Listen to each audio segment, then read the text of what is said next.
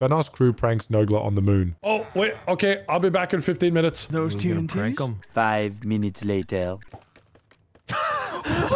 Holy shit. So if I go up here.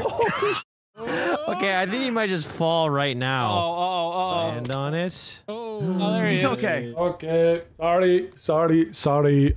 Oh, great. Wait, I should be I should be fine. Yeah, I'll be fine. I shouldn't die because I'm at uh he left. you we sure he's gonna die though? we'll see. He's floating pretty Let's gracefully. see.